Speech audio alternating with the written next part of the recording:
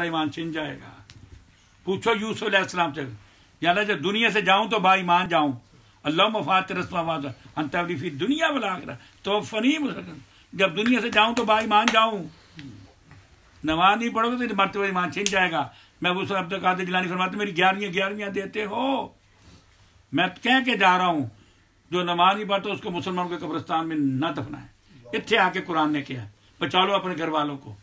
दो की उस आग से जिसका ईंधन इंसान और पत्थर है। नमाज़ न छोड़े। खड़े होकर पढ़े, बैठ के पढ़े, लेट के पढ़े। जिस तरह भी उसका नमाज़ ना छोड़े। एक नमाज़ पढ़ी, दूसरी पढ़ी, दरमियान में सारे गुना माफ़। हमारी जो नमाजें अगर पढ़ते भी हैं तो लेबल लगा दिया हम लोग नमाज़ ही कहें। और ठूँगे मारते हैं। The biggest kind of thief is the one who steal from the नमाज़ जो नमाज़ से चोरी करता है। रुकू सही नहीं किया, सजदा सही नहीं किया स्पीड पाँच सौ माइल एन आवर ऐसी नमाजियों को उनकी नमाज़ गंदे कपड़े की तरह उनके मुँह पर दे मारी जाएँगी हदीस के अल्फाज अल्लाह में नमाज़ की इस्तकामत दे इसको कायम करें। पहले तो we must listen to the parents how many of us love our parents do we love our parents how much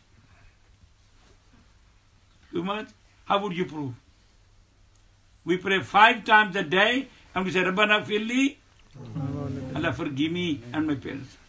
You have to prove your love toward your parents. If you really love your parents, they do all, they left their parents back home for you, Lord, to be here, to have better education, better living, better clothes, better trainers, better, better jackets. You should be grateful to them. You owe them a lot. Allah says in the Quran. Can Allah be wrong? Can Quran be wrong? We are the Muslim. We believe Allah. We believe Quran. Quran is the word of Allah. Can't be wrong.